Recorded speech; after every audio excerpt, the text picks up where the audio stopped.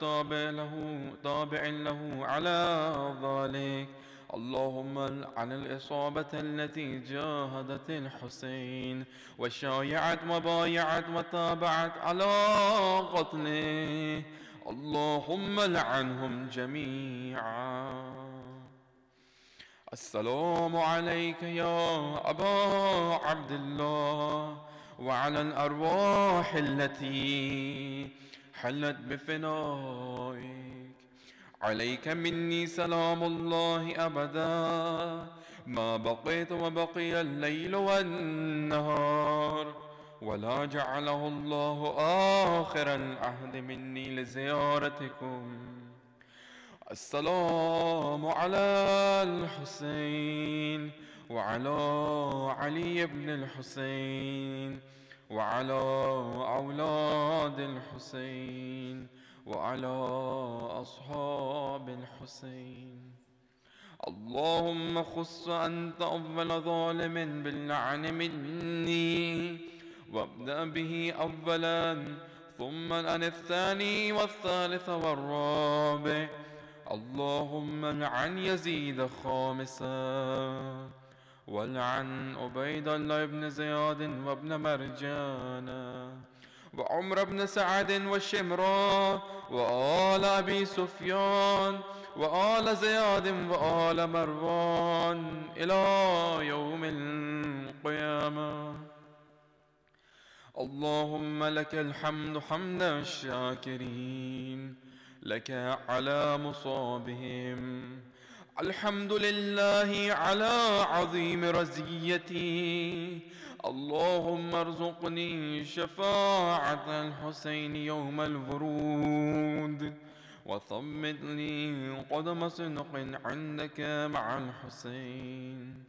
وأصحاب الحسين الذين بذلوا مهجهم دون الحسين عليه السلام. صلوات على محمد وآل محمد.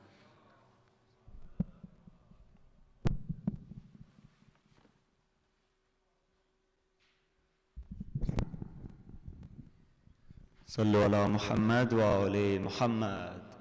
اللهم صل على محمد وآل محمد وأجل فرجهم. أعوذ بالله من الشيطان اللعين الرجيم. بسم الله الرحمن الرحيم. إن الله وملائكته تسليما. اللهم صل على محمد وآل Thank you, Brother Zamurud, for the beautiful tilawat of the Holy Quran and Ziyarat Ashur. Uh, without any further delay, I would request Sayyid Haidar Hassanain to please come on the mimbar and address the majlis for tonight uh, in your loud salawat, please. Allahumma salli ala Muhammad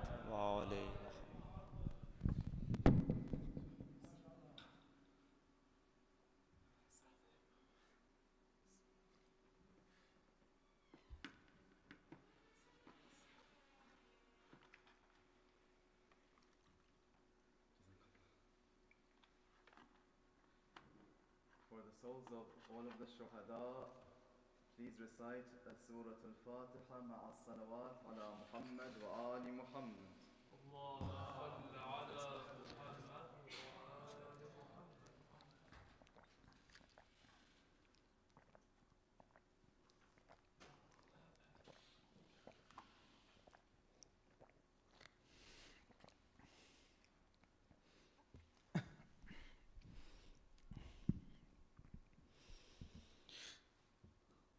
بسم الله الرحمن الرحيم. لا حول ولا قوة إلا بالله العلي العظيم. حسبنا الله.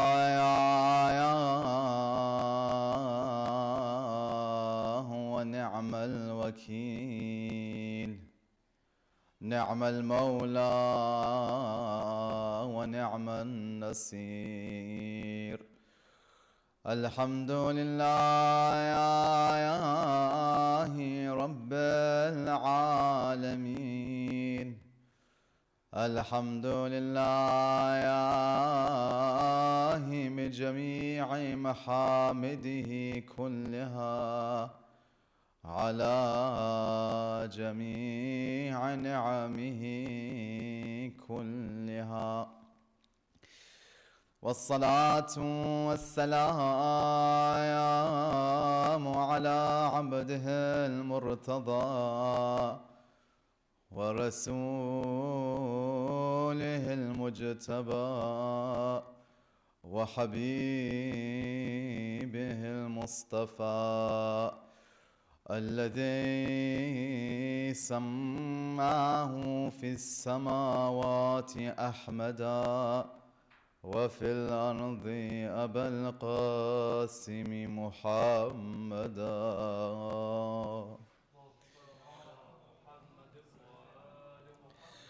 وعلى الأطيبين من آله البررة سيما حجة الله الباقية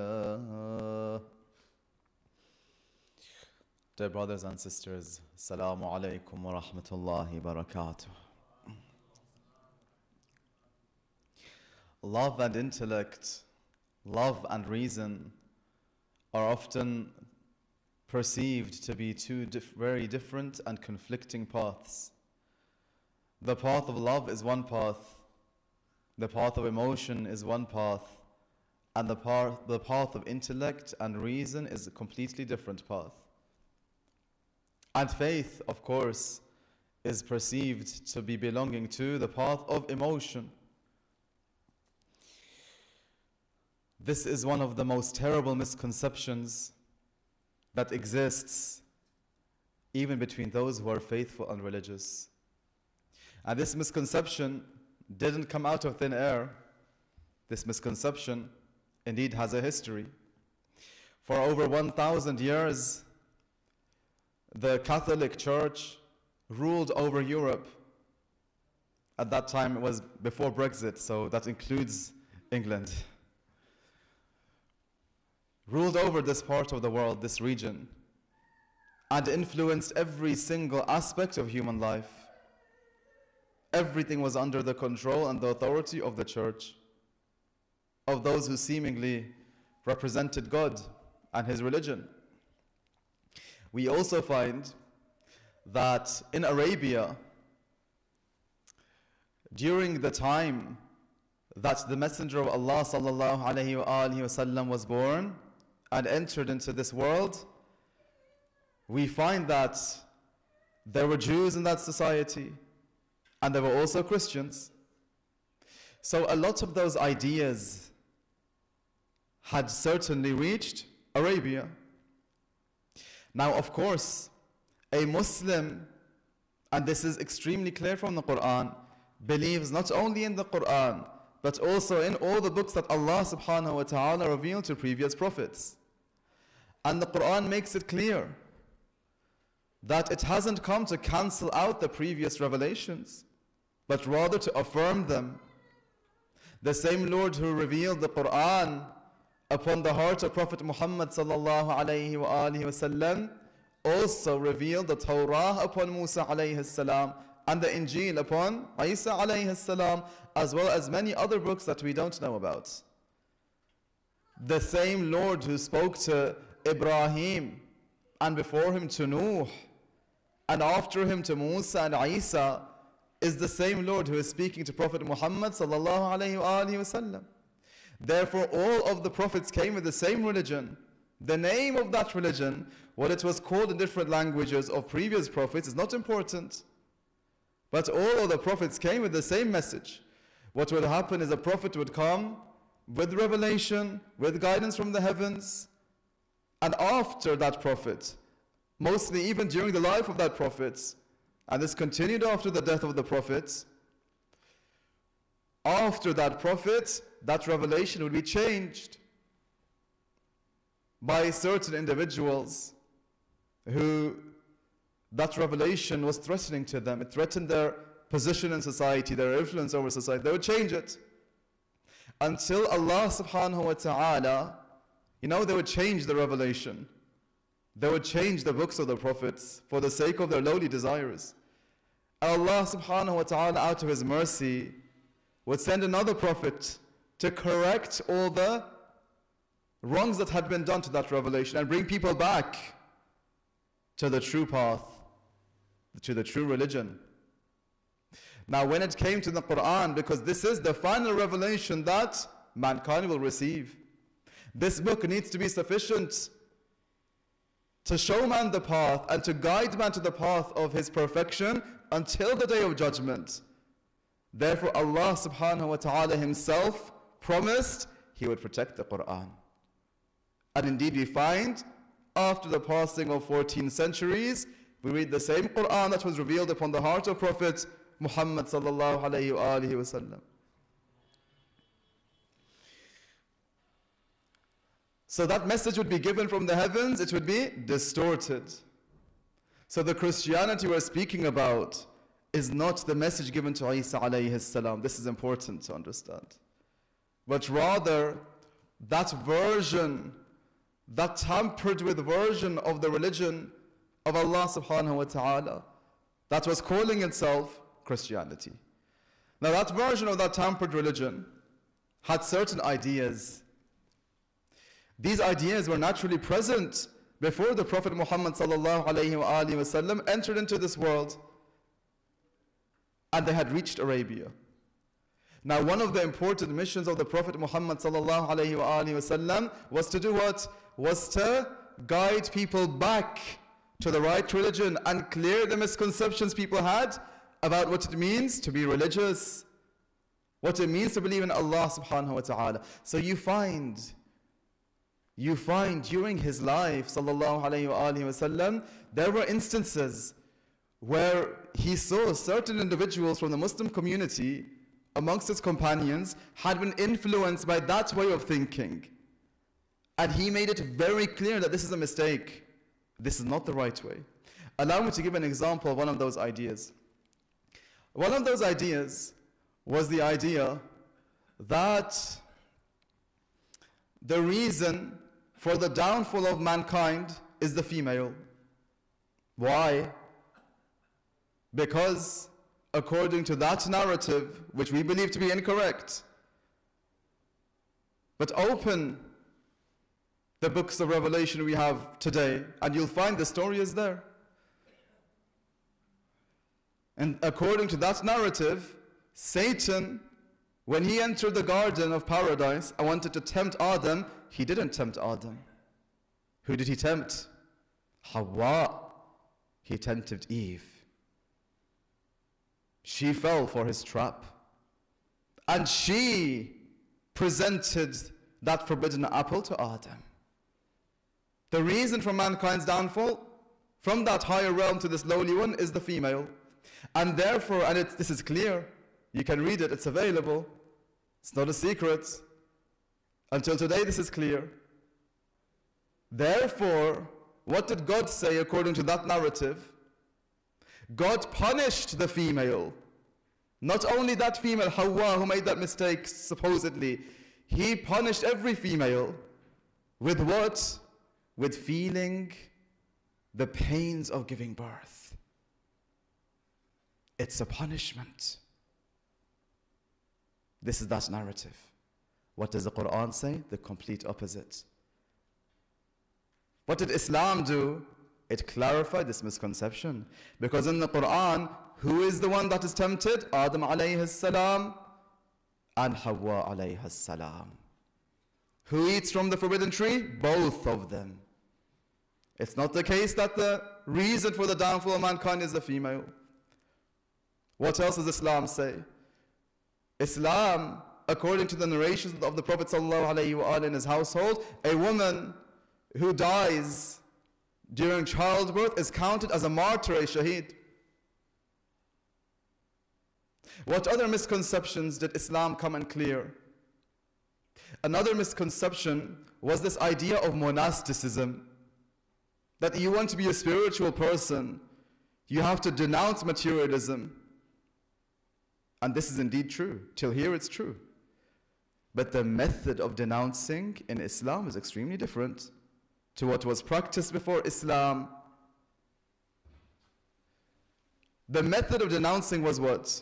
The ideal situation for a spiritual person, a person who wants to reach closeness to God, according to that version of Christianity, is what and was what? That the best situation is you do what? You live in a monastery. You distance yourself from the evils of this world and you do not marry. You stay celibate till the end of your life. Now, if you are weak in your faith and you can't achieve that, marry. It's better than being sinful. This is the view towards marriage. What did Islam say? The complete opposite. You want to get close to Allah? Marry. You want to meet Allah in a state of purity? These are the hadith of Rasulullah sallallahu alayhi wa Someone who wants to reach Allah in a state of purity should reach Him with a spouse. Should marry. Some of the companions of the Messenger of Allah sallallahu alayhi wa had been influenced by that way of thinking. They had married. They had married, but they'd begun neglecting their wives. In what sense? Not in the sense that they wouldn't provide for them, or allow them to stay with them. No, but they wouldn't go to their wives. They'll be busy in night in praying and worshipping Allah subhanahu wa ta'ala. In prayer, in dhikr. They stopped going to their wives. And this is something that the women were upset about. What else did they stop doing? They wanted closeness to Allah. They'd been influenced by that mentality. They also stopped using perfume. Because the idea is what? The more you detach yourself from dunya, the pleasures of dunya, materialistic pleasures, the closer you get to Allah because your soul gets stronger. You weaken your physicality, your spirituality gets stronger. So, perfume and smelling nice is something materialistic related to dunya. This was the thinking. And you can see where they're coming from. They stopped going to their wives, they stopped using perfume, and they stopped eating meat. They became vegetarians. At that time, I don't think veganism existed as a concept, but they became vegetarians. They stopped eating meat. Now, some of these wives, really, they were very upset. They would beautify themselves with their husbands. The husband would pay no attention. Too busy on the prayer mat. What happened? There were incidents where it's related that one of these wives, and I don't know if this is, was repeated how many times this was repeated, but it seems it wasn't only one companion, it was something that this way of thinking had entered into the Muslim community, and many were thinking along, the, this, along these lines. One of the wives of one of these companions is so hurt by the fact that her husband is not paying attention to her that she goes to Rasulullah sallallahu alayhi wa sallam. And she complains to the Messenger of Allah about her husband. And she says, My husband, he stops eating, he stopped eating meat, stopped using perfume, and stopped coming and paying attention to me and coming to me. It's related to the Messenger of Allah sallallahu alayhi wa wasallam became angry. This is the anger of Allah subhanahu wa ta'ala. He went to the masjid, he ascended the mimbar, and he addressed the people of Medina. And it's related, he said, Sallallahu alayhi wasallam, I've heard that some of my companions don't go to their wives, they don't use perfume, and they don't eat meat. I, the Messenger of Allah, go to my wives. I use perfume and I consume meat, and whoever leaves my sunnah is not from me. Meaning, Islam came and clarified this misconception because the reality is the path of spirituality is right through this world of physicality. It's not something detached from your day to day life. Every act you do should be an act of spirituality. And therefore, you find in Islam you have what? Even when you want to eat, do it in Allah's name. Remember Allah there. When you want to, Ajallakum Allah, use the bathroom, first use Allah's name. Even that should be a spiritual action. When you leave your house, leave in Allah's name. When you get married, marry in Allah's name. The way He said, we spoke about that in the previous night a little bit. It's not something, the spiritual path, not something detached from your day to day life. And it was so important and crucial for the Messenger of Allah wa to get that through to his ummah. Yet unfortunately we find today that unfortunately even until today some of those ideas still exist. Unfortunately. Is there an element of monasticism in Islam? An element, yes.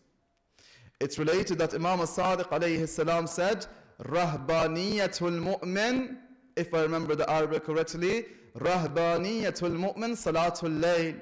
The monasticism of the believer, that detachment away from everything except Allah is his night prayer. The 11 rak'at that Allah has ordained as the optional night prayer that you perform before the Fajr prayer in the last third of the night about which Allah subhanahu wa ta'ala speaks in the Quran. That is the extent of monasticism for the mu'min. That is your one on one time with Allah subhanahu wa ta'ala. To that extent, Islam says yes. To that extent. And the message of Islam is what? Indeed, you divorce the dunya, but where? While being inside the dunya you divorce it in your heart. Meaning you live in the dunya, but don't let the dunya live inside you. And this is much harder than running away to a mountain. Allah rahmatullah alayhi says that you know the hardest spiritual exercise for a human being? The hardest one. You want the hardest one to get the best results? The hardest one is following the Sharia. You want to be really hard on yourself to reach Allah subhanahu wa ta'ala, just follow this religion. Really. Why? He explains. Because following this sharia, following this religion, is the continuous slaughter of your lower self. Because with every action you first think, does Allah want this from me or not? Before you get married, what do you think? Does Allah want this from me or not? Is this the person that will help me get to Allah or not? Before you eat, is Allah pleased or not? Before you fast, is Allah pleased or not? You see, it's about breaking the idol of the self. Some people don't understand this. They say, What? You say, Look, you are ill. Fasting in the month of Ramadan is detrimental to your health. It will harm you, but he still fasts. You say, Allah is saying it's haram for you to fast. He still fasts. So who are you worshipping? Is it Allah or your desires? So that fasting was not for the sake of Allah. It was for the sake of making you feel good about yourself. See? The hardest spiritual exercise is following this religion. And sometimes when people become more spiritual, they become imprisoned by those very acts of worship, forgetting that they were just a means to get you to the worshipped one. Allahu Akbar. We had someone Shaheed Murtada, Shaheed Mutahari rahmatullah alayhi speaks about this story in a beautiful manner. We had someone, an ascetic, who was known as having renounced the dunya, but he didn't go the right way about it. Didn't go the way the Quran Ahl Bayt said. He lived in a certain part of the Muslim world, and he had dug his own grave ready. He would go there, he would worship Allah subhanahu wa ta'ala in his mind with the definition of worship that he thought, not what the Quran says. Because worship in Islam, being a servant of Allah, is a lifestyle. He would recite dhikr, he would pray, he would do dua, and he was known by people as someone who's divorced the dunya. Because people left the teachings of the Ahlul Bayt about everything. they came to him one day and they said, Do you know that Al Hussein ibn Ali has been killed.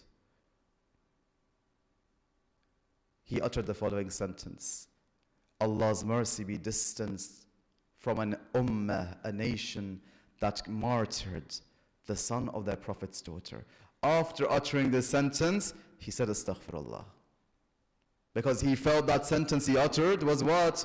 Was not dhikrullah, was not remembrance of Allah. He did istighfar for that. This is one way. Or you come to Karbala with your Imam. You defend him, you defend his household. Which is the right way? Which is the right way? As followers of Ahlul Bayt, Imamah is extremely important. The way to Allah is by means of obedience to the Imam of your time. There were some individuals during the time of the Messenger of Allah sallallahu alayhi wa the month of Ramadan came, everyone was fasting.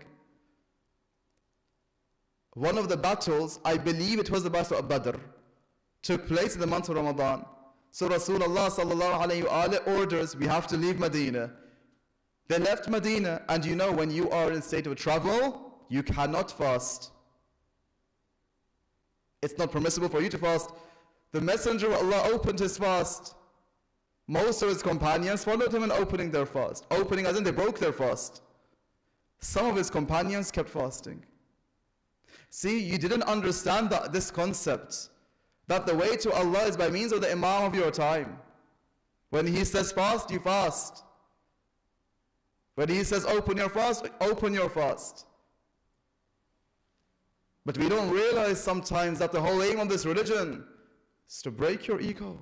Become an abd of Allah subhanahu wa ta'ala. They say that the distance between yourself and Allah is just a single step, and that step is you. You want to get to Allah? Step over yourself. Moment by moment, you say to yourself, What does Allah want? Does Allah want me to give this lecture? Or is that what I want? Why do you choose that center over that one? Really? Because Allah wants that from you? or because they pay better, more people come?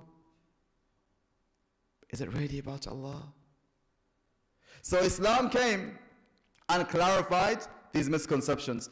Now, one of those misconceptions which Islam came and clarified is what?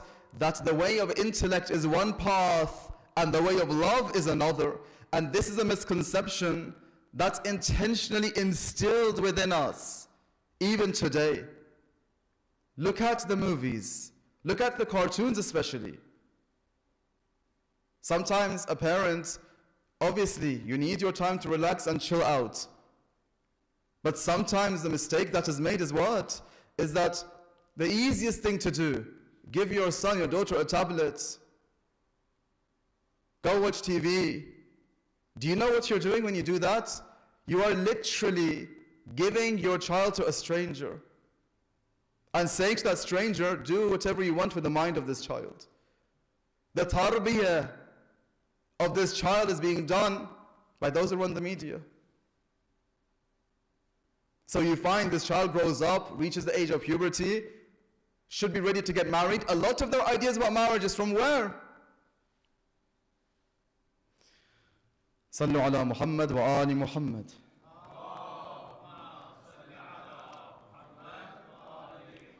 So one of those ideas is the following that the love, sorry, that love is one path, emotion is one path, and intellect is a different one, and that love and intellect are always at war with one another. However, when we come to the Quran, we find something very different. Very different indeed. When we come to the Quran, you see, sometimes other religions, they say what? They say that if you want to believe, take a leap of faith. Meaning what? You don't understand it. But belief isn't about understanding, it's about your heart, your emotions. Right? Islam says what? The absolute opposite.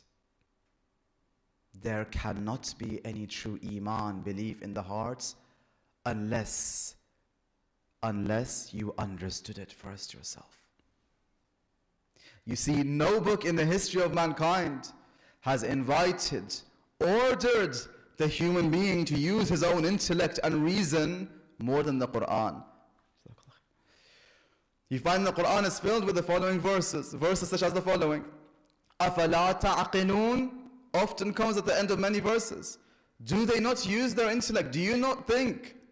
Do you not use their, your intellect? We have a beautiful verse of Quran that states the following. أَفَلَا يَتَدَبَّرُونَ الْقُرْآنَ أَمْ عَلَى قُلُوبٍ أَقْفَالُهَا Do they not think over the Quran? Do they not think about these verses they're reciting? Or are their hearts locked up? The Quran didn't come for us to only recite it for those who passed away.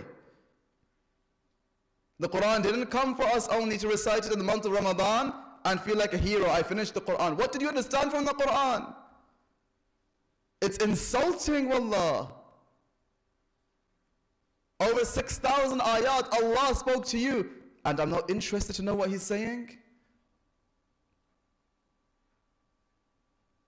It's related, Amir al Mu'mineen alayhi salam said, he told us to be in the following manner when you recite the Quran, your aim shouldn't be to finish the surah. Meaning what? Meaning, think about what you're reciting. Nowhere in the Quran do we have the order to recite the Quran for the sake of reward. Rather, we have what? The order to recite the Quran for the sake of understanding. لِيَدَّبَّرُوا آيَاتِهِ This is why Allah revealed the Quran, so that mankind ponders over its verses. It's related from Abu Abdullah alayhi salam that he stated the following, that a youth who recites the Quran, again not reciting like a parrot, reciting like a human being, thinking over its verses, understanding what it's saying, contemplating over it. A youth who recites the Quran, the Quran mixes with his flesh and blood. These are the days to build a relationship with the Quran. These are the days. Don't leave it till your old age. Don't leave it till your old age. So the Quran comes and clarifies. Do they not think? Do they not reason? Why don't you think? Again and again and again and again. Insisting on this point to the extent that the noble Quran states, أعوذ بالله من الشيطان الرجيم بسم الله الرحمن الرحيم that it is not for any person to believe, to have iman, except with Allah's permission. And the verse finishes with the following sentence, وَيَجْعَلُ الرِّجْسَ عَلَى الَّذِينَ لَا يَعْقِلُونَ And Allah places defilement, and this is obviously spiritual defilement, places filth upon who? Those people who don't use their intellect, those people who don't think. So Iman and intellect are mentioned together. And the Quran mentions those who they begin their journey from where? They begin by looking at the heavens, looking at the earth, looking at the mountains, and they think about it. يتفكرون في خلق السماوات والأرض They think about it, they ponder over it, they use their intellect. When they do that, they naturally reach the following conclusion. ربنا ما خلقت هذا باطلا This can't come out of nowhere. It has a creator. We have a creator. Oh, our Lord, you didn't create all this for the sake of nothing. But where did that journey begin from? From thinking by using their intellect. This leads to Iman. This leads to Iman. You know, brothers, sisters, intellect in Islam is sacred. Intellect, al-aql, the intellect Allah placed within every single one of you, is just as infallible as Rasulullah sallallahu alayhi wa these are the teachings of the Quran, the Ahlul Bayt. Yes? In a beautiful hadith in Usul al Kafi, which is one of our most authentic books of hadith, the following narration is present that Allah subhanahu wa ta'ala created the intellect, al aql. He said to it, He ordered it, come forward. It came forward. He ordered it, go back. It went back. After which He said, I swear by my might and authority, and my grandeur and magnificence. I have not created a creation more beloved to me than you. It is you who I will order, and it is you who I will forbid. Which is why, dear brothers and sisters, in fiqh, we find that word. We find that individuals whose intellect has not developed, they don't have any duties. Why? Because Allah orders which part of the human being? He orders his intellect. He speaks to his intellect. Therefore, someone who doesn't have uh, that intellectual capacity is excused from all duties. There's nothing upon them. There is no duty upon them. No prayer, no fasting, no hijab, nothing. Nothing. They have no duties. What are the reasons that a child, before reaching that age of maturity, doesn't have duties in Islam is exactly this. It's about the intellect. It's related, Allah subhanahu wa ta'ala said, What in this hadith? That, oh intellect, it is you who I will order, it is you who I will command, it is you who I will forbid. Meaning, I speak to you. The Quran speaks to the intellect. The Ahl Bayt speak to the intellect. The intellect is a sacred reality. It's a heavenly reality placed within the human being. It is the voice of Allah subhanahu wa ta'ala speaking from within yourself. So when your intellect tells you to do something, you don't need a hadith. When your intellect tells you to do something and you are certain it's your intellect, you don't need a verse of Quran. You don't. But there is something much deeper which we don't have too much time to get into. But it's a shame not to mention anything of it at all. So I'll mention parts of it, inshallah. Brothers and sisters, the world we live in, this dunya, is called Alam al Kathra by many of the scholars, the world of plurality, the realm of plurality. Why? Because we have the, this world, the physical realm, where reality cannot be manifested in its complete sense. Okay? That realm, the higher realms from which we came and to which we'll return, is called what? Alamul Wahda. The world of unity. Their reality is shown to a person. This world lacked the capacity to show reality 100% exactly as it is. But on Judgment Day, we will see the reality. All of us. Okay?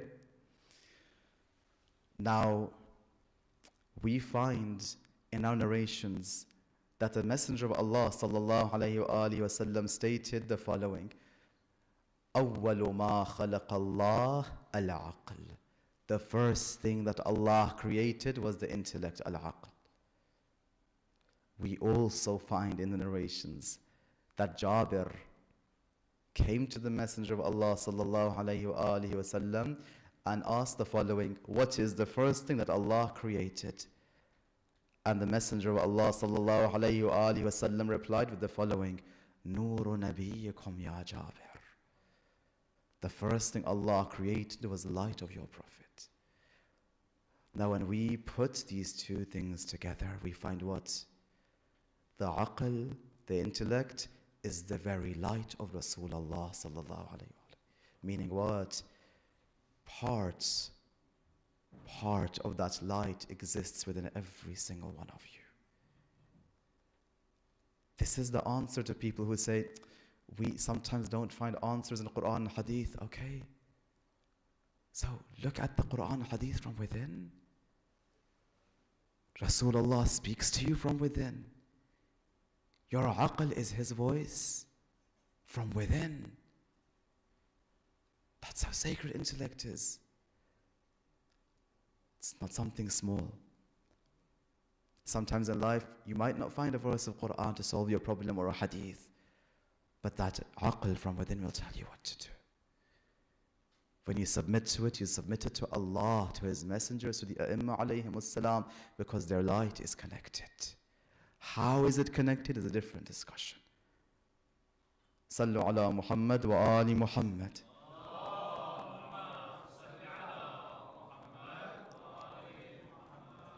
And therefore, you find in our traditions, in our narrations, the following whatever intellect commands to, Sharia also commands to. And whatever Sharia commands to intellect, also commands to. It is impossible that revelation, al-wahi, Quran, the narrations of the Ahlul Bayt tell us one thing, our intellect tells us something different, impossible. Absolutely impossible. Why? Because the same one who revealed the Quran, sent down the Quran, sent the prophets, sent the Ahlul Bayt, is the same one who placed that same light inside every one of us, which is the intellect. How can light contradict light? How can guidance contradict guidance? Now the question may arise that if we have intellect, if we have al-aql, what is the need for revelation at all? Why do we need prophets? There are many answers to this question.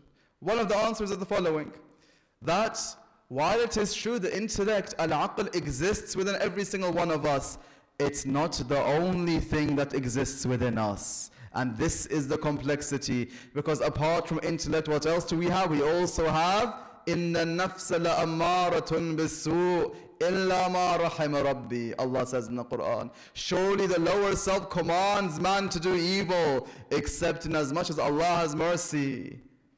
We spoke some nights ago about freedom, how when intellect is imprisoned by the lower self, it makes you into someone who creates an atom bomb and uses it.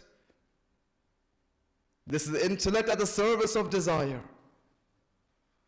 It makes you into someone who can think of all kinds of different ways to torture innocent people. No animal's guilty of that. Because you have intellect. Therefore, you need revelation to guide this intellect out from the cage of desires. And sometimes shaitan will come to a person and say, This is your intellect, even though you know it's not. He will make something your duty, even though it isn't. It's my duty. I have to oppose that speaker and tell everyone what a bad person he is. It's my duty. Really? Is that really your intellect? Or is it your desires?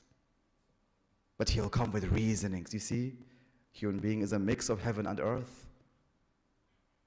That's one of the reasons we have outward guidance as well as inward guidance. When you are in doubt, is this really my intellect? See what the Sharia is saying. If it's confirming it, it's your intellect. If it's not, it's your lower desires. The other reason we need intellect is that intellect can't know everything. Intellect can bring you to a point where you recognize there is a creator, yes? But how do I connect with him?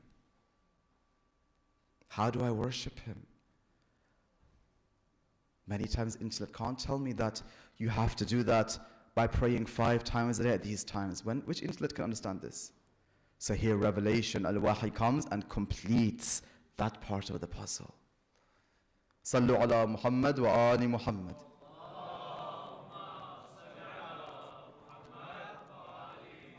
So iman, true faith only enters the heart after understanding, reason, at-ta'aqqul, using the intellect.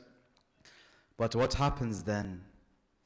A human being reaches a level where Allah subhanahu wa ta'ala says, والذين آمنوا أشد حبا لله Those who believe, those who have Iman, which Iman, the Iman that comes after understanding, reason, intellect, but those who have that Iman, what happens?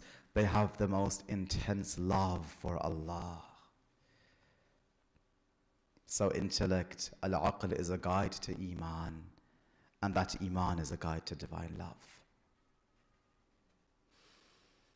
Why is it that on the night of Ashura, Abu Abdullah alayhi salam brought his companions together. He blew out the candle, it was pitch black. And it's related, he said to them, Leave me. They don't want to kill you, they only want to kill me. Are you embarrassed to face the people? I'll give you a reason take the hand of one of the members of my household so you, have, you don't feel embarrassed in front of people. Why did he do that? Maybe one of the reasons was the following. In that moment, in that moment, he elevated, he saved his companions. Some people left, by the way. Not everyone stayed, yes? Some people left. But those who stayed, stayed only for one reason, and that was that they had reached a state of being infatuated with Allah subhanahu wa ta'ala. There was only one reason to stay because you knew you were going to die. Not only that, you knew the one you were protecting is going to die. All you're going to achieve by saying is what? Just delay his death for some minutes, right? There was no chance of Al Hussein alayhi salam surviving physically. The companions knew that. Some people go or would go in the past to battles perhaps because of what? Because even if I die, my name will stay alive, right? People will remember me as a great man, a hero. But the companions of Al Hussein didn't even have that motivation. Why? Because the government, the media of that time is in the, in the hands of the enemies of Al Hussein. The only reason they could have stayed was love. This is why the Shuhada of Karbala have a status no one else does. They had no other motivation. There was no honor in terms of dunya. There was no victory on the battlefield. What did you fight for? There was only one motivation, that was love. That was love. You know, one of the reasons that poets, who are, you know, the mystical poets, people of the heart, they often refer to love, divine love, as wine, is because that condition of divine love cannot be conveyed in language. They have to use metaphors. Why do they use wine? Why do they use wine as a metaphor for love? Maybe because of the following reason. You know what? There's a, there's a um, similarity between the state of being drunk and the state of being in love. There's a similarity and a difference. What's the similarity? The similarity is that it's a move away from intellect. The difference is that when you are drunk with the forbidden wine of dunya, it's a descent from intellect. But when you enter the realm of Allah's love, it's an ascent from intellect. It's the next level above, beyond intellect. And we find that in the journey of Abu Abdullah alayhi salam, both love and intellect are together.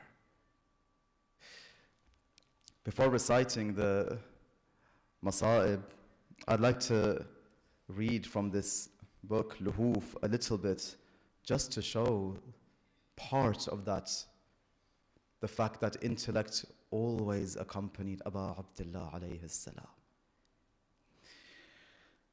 When Muawiyah passed away, the governor of Medina was a man called Walid ibn Utbah. Now Yazid gained authority and he wrote to Walid saying, Take bay'ah allegiance from the people of Medina for me and especially take allegiance from Al Hussein. And if he doesn't give allegiance, strike his head, strike his neck. What happened? ثم بعث إلى الحسين The governor of Medina called Al-Hussein alayhi salam. Now how did Abu Abdullah go? Look at intellect, look at this reason, look at this thinking, this thought process. How did Abu Abdullah go there? Did he go alone? No. He took 30 men with him. He took 30. Why? Maybe because he knows when he enters into that room, anything could happen. So he had his force, his supporters ready outside. All so calculated in the mind of the Imam. 30 men from the people of his house and also his followers. He was told by the governor that Yazid has said you have to do bay'ah. How did the Imam reply? أيها الأمير أو أمير, a ruler of the city, إن البيعة لا تكون سرا Bay'ah is not done in a closed room. Allegiance is not given in a closed room. ولكن إذا دعوت الناس غدا فادعنا معهم. But if you call the people in the city to give allegiance tomorrow, call us with them. Allahu Akbar. Look how clever the Imam is. Look how clever he is. This is the intellect. A certain con- conversation continues. Marwan ibn al-Hakam, who hated Ahlul Bayt, is present there. He said to the Emir, no, take it by force. The Emir of Medina didn't want to force Al-Hussein alayhi salam because he knew the position of Al-Hussein alayhi salam. Yes, yes, he was working for the Bani Umayyah, but he still had some light in his heart. So when Marwan ibn al-Hakam insists, Al-Hussein alayhi salam gets angry, there is a dispute between them, after which Abu Abdullah alayhi salam says the following words. أيها الأمير أو أمير إنا أهل البيت النبوة ومعدن الرسالة ومختلف الملائكة Do you know who we are? We are the household of prophethood we are the minds of the divine message. We are the places that angels always descend upon. وَبِنَا فَتَحَ اللَّهُ وَبِنَا خَتَمَ اللَّهُ By means of us Allah opens and by means of us Allah closes. ويزيد رجل فاسق شارب الخمر قاتل النفس المحرمة معلن بالفسق He's explaining his reasons. Allahu Akbar. Look at this intellect. As for Yazid, this is who we are. Look at who we are. We are the places the angels descend. Who is Yazid? He is a man who is sinful. A man who openly dis- disobeys Allah subhanahu wa ta'ala. A murderer. A drinker of that which is impermissible. ليس له هذه المنزلة He doesn't have this position that we have. ومثلي لا يبايع مثله One like me doesn't give allegiance to one like him. He explains his reasoning. Reason is on our side. The path of Al-Hussein alayhi salam is the path of reason. And the path of Al-Hussein alayhi salam is the path of love. Because they are a single path. Sallallahu alayhi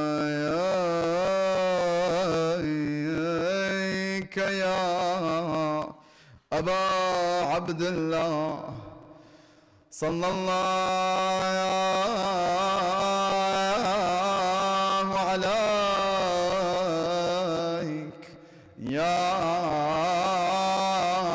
أبا عبد الله صلى الله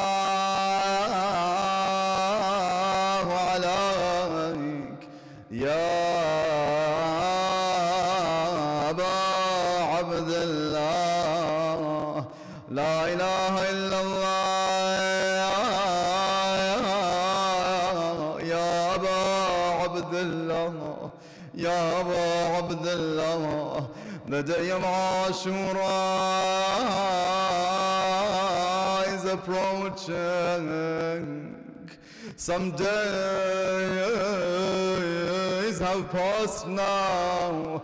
The caravan of love is present upon the sands of Karbala. Allow me to say this again over and over until it enters our heart. We can't bear to hear more than one musibah every night. It's too much for us to bear.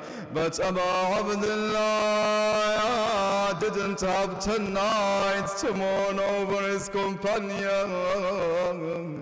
to mourn over his household. Within one morning, one afternoon, La ilaha illallah. Ya Aba Abdullah, forgive me, I'm ashamed. I'm ashamed I run out of tears so quickly. I know everything you did was only for me, so that this message could reach me. You did what you did in order to save me. Forgive me, Abba Abdullah. Forgive me, I run out of tears so quickly. La ilaha illallah, la ilaha illallah.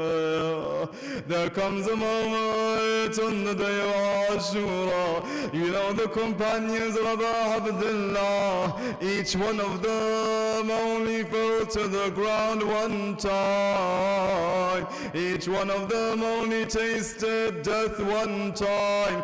But Abu Abdullah tasted death many, many times on the day of Ashura. Why?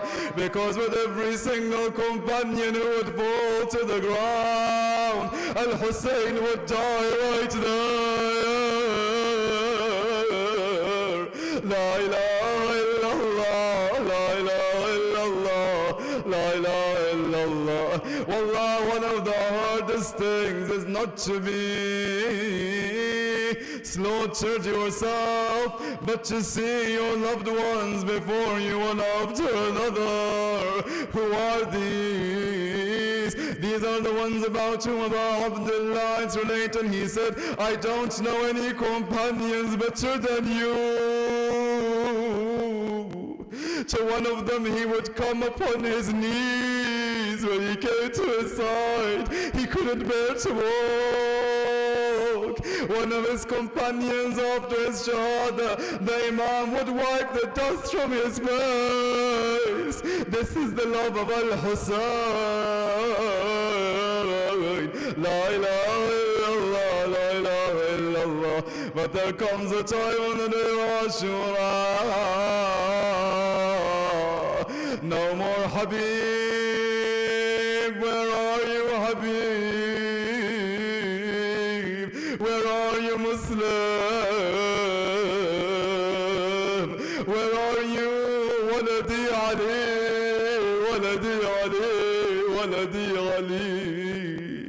Imagine the Imam standing on the sands of Karbala, looking left, looking right, and then looking back towards the tent. Where are you, companions of Abdullah? You're not here to witness the loneliness of your Imam. La ilaha illallah.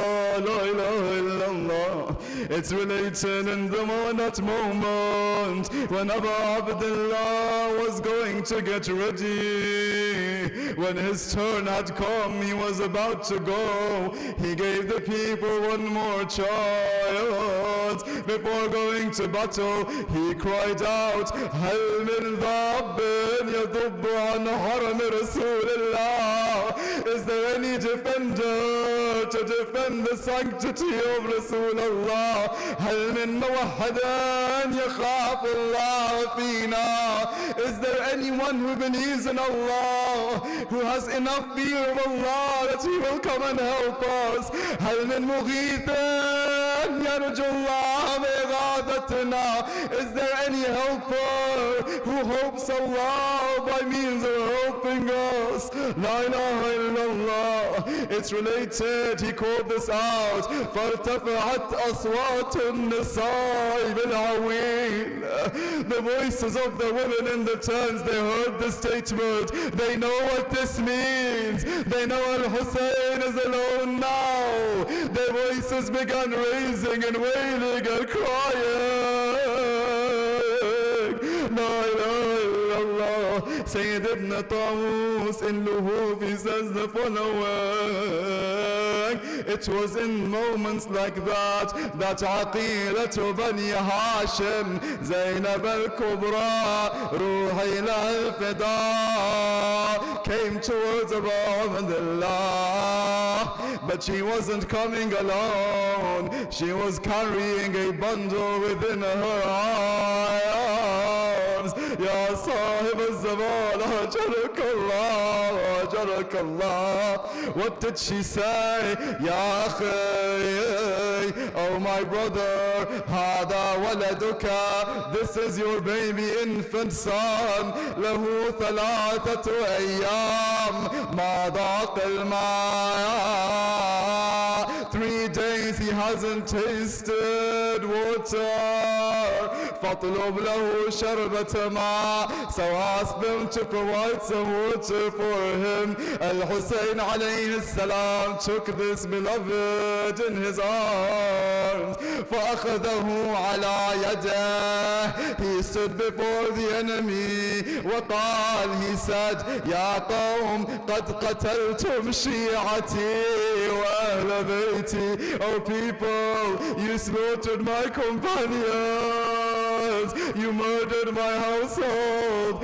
وقد بقى هذا الطفل The only one that remains now is this little child This infant يتلظى عطشا He's dying out of thirst فاسقوا شربة من الماء Take him yourself Give him some water. The mal'oon said To that archer Harmala Answer al-Hussein.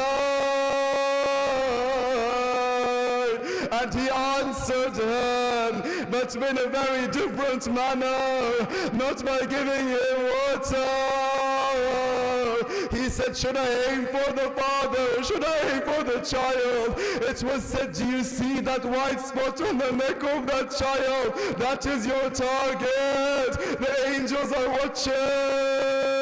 Allah is watching. Harmala.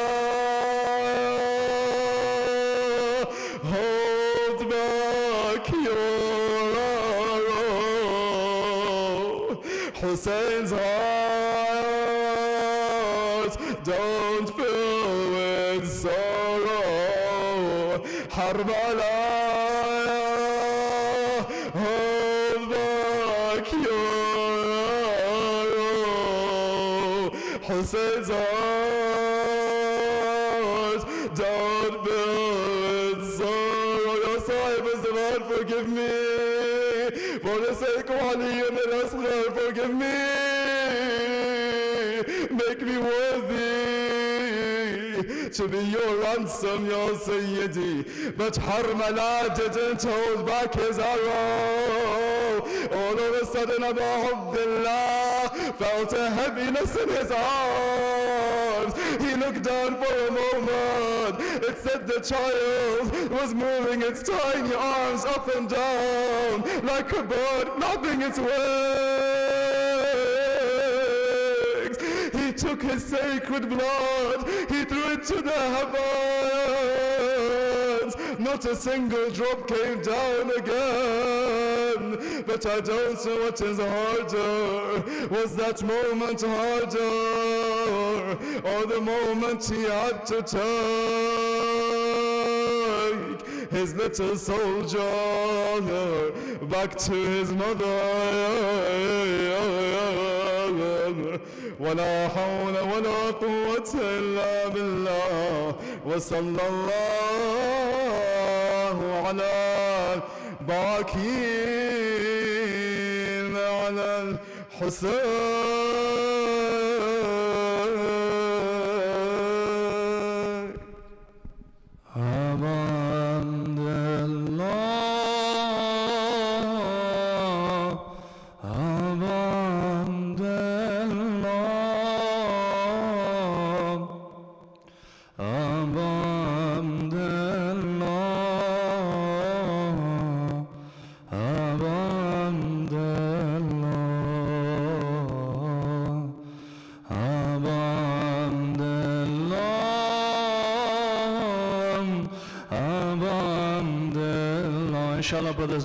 Matam to lament Ali al-Asghar on this tragedy night, on this tragic and mournful night. Come together, follow the brothers, form lines inshallah. Do not be shy with your voices and with the beating of your chest. Abandillah.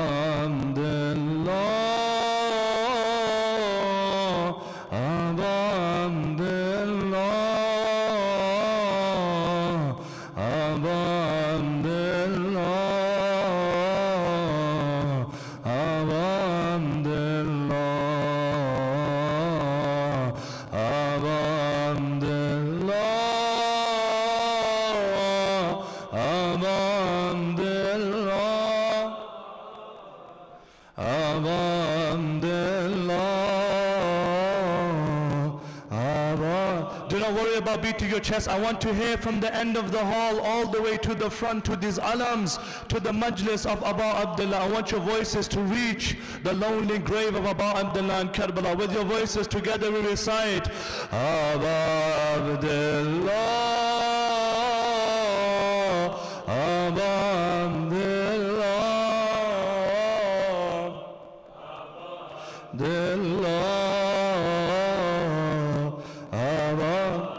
Let Mother Zahra hear your voices to the end of the hall. Alhamdulillah.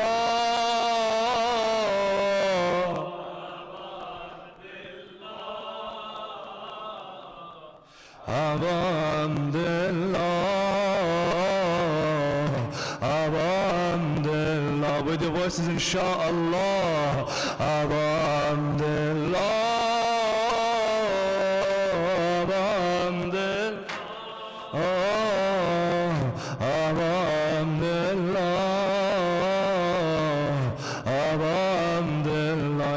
Inshallah, Karbala.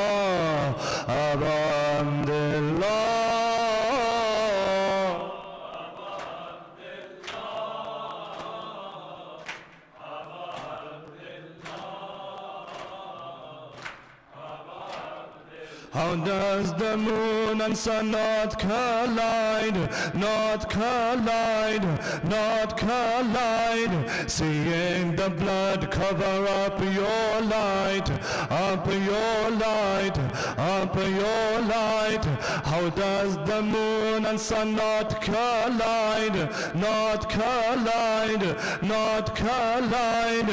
Seeing the blood cover up your light, up your light, up your light. Why is the sky and rain feeling shy, feeling shy, feeling shy? How dare the arrow strike in your eye, in your eye, in your eye? Alone, oh Father, surrounded by your enemies, surrounded by your enemies. Surrounded by your enemies, surrounded by your enemies. Only you want to help. The sun is begging at your feet. The sun is begging at your feet. Only you want to help. The sun is begging at your feet. The sun is begging at your feet. If only I was much older, I would have fought for you, Master.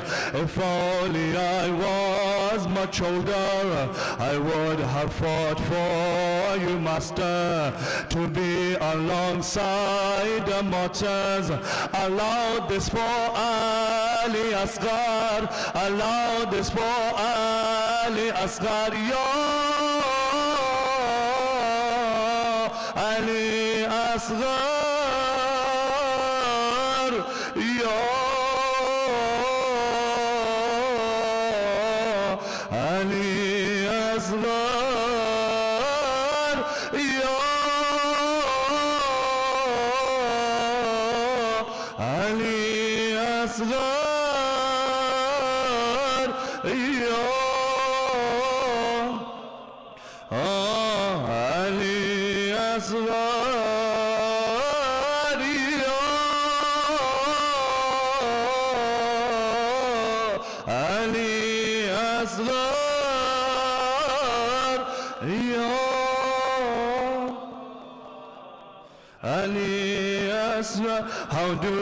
oceans not crush up to your lips, onto your lips, onto your lips? How do oceans not crush onto your lips, onto your lips, onto your lips? Oh, the river, how can you bear this? You bear this, you bear this. The door of wishes lies at your steps, at your steps, at your steps. The last door is taking his last breaths, his last breaths, his last breaths. I ask for water for the sake of his innocence, for the sake of his innocence. I ask for water for the sake of his innocence, for the sake of his innocence. I am begging you to show this baby some kindness, to show this baby some kindness. Asghar, my son, open your eyes, look at your father one last time. Asghar, my son, open your eyes, look at your father one last time. Do not await for your master when you can drink from the Kothar, when you can drink from عندك ثريا.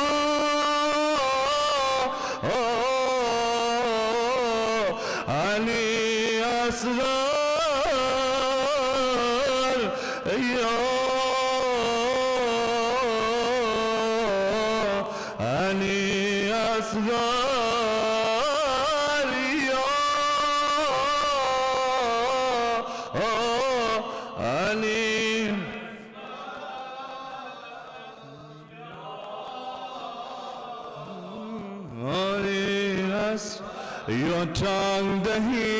Of the sun has burned, sun has burned, sun has burned. So weak, how gently does your neck turn, your neck turn, your neck turn. Your tongue the heat of the sun has burned, sun sun has burned. So weak, how gently does your neck turn, your neck turn, your neck turn.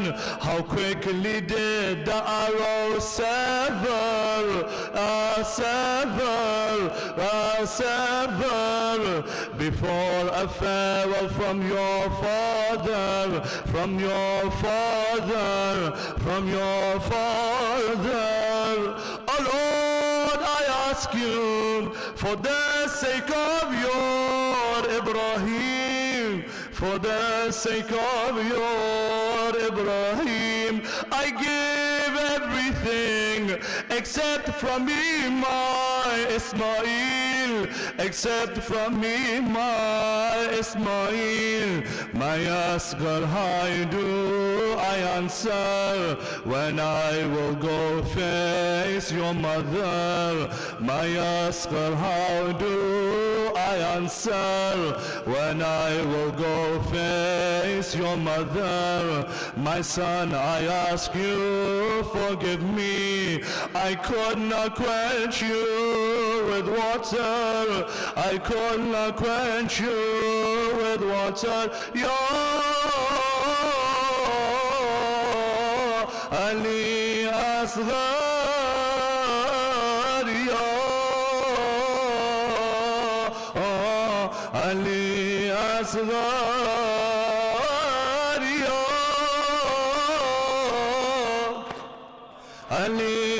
Asghar. Do not be quiet, oh brothers, with your voices, inshallah. Together we recite, Ya Ali Asghar,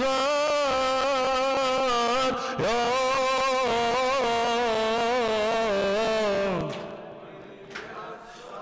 Sarallah Hussein,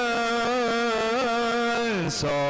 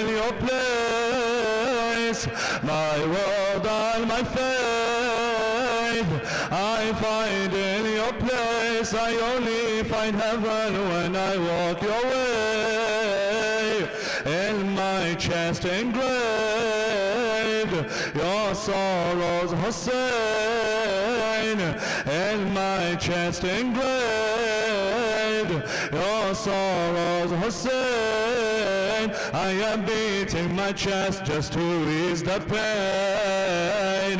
Salallah Hussein, Salallah Hussein, Salallah Hussein. Let your voices reach Karbala, inshallah. Salallah Hussein, Salallah. MashaAllah, MashaAllah, Salallah Hussein, Salallah Hussein, Hussein, Salallah Hussein.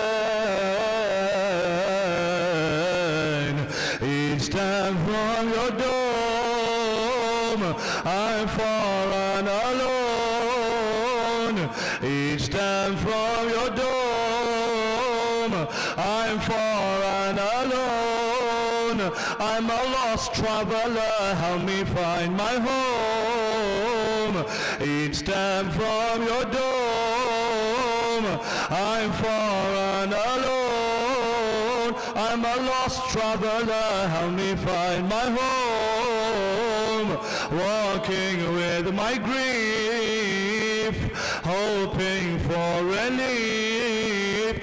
my pain pours away when Hussein I reach. Salallah Hussein, Salallah Hussein. بحق الزهراء إن شاء الله Salallah Hussein. Let your voice reach Karbala. Salallah. Maşallah saral Hüseyin saral Hüseyin saral Hüseyin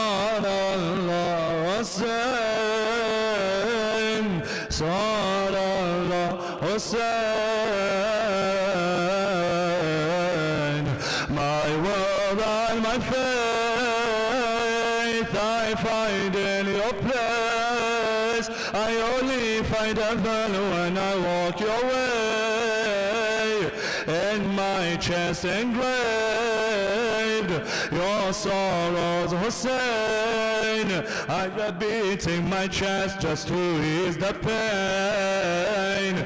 It's time for your doom I'm far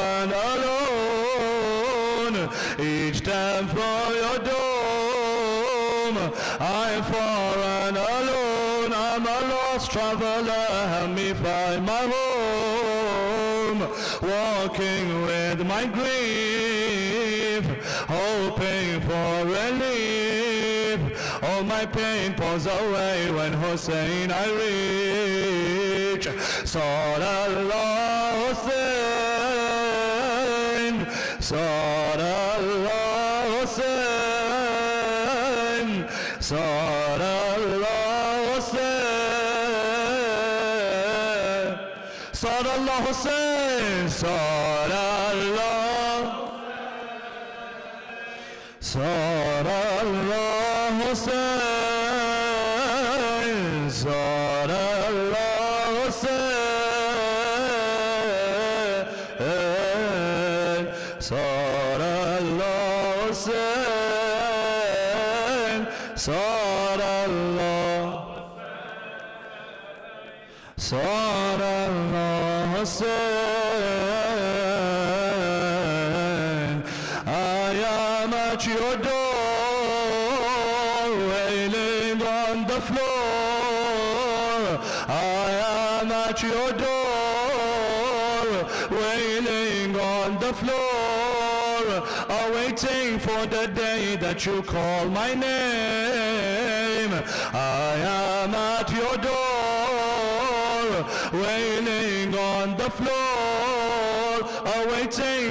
The day that you call my name. Years go by the day, my hair start to gray. Do you see your lover growing old, Hussein? Tears pour down my cheeks from your tragedies. Tears pour down my cheeks from your tragedies My master, how do I keep my sanity? It's my love for you and your love for me. It's my love for you and your love for me. although الحب الحسين جنني أميري حسين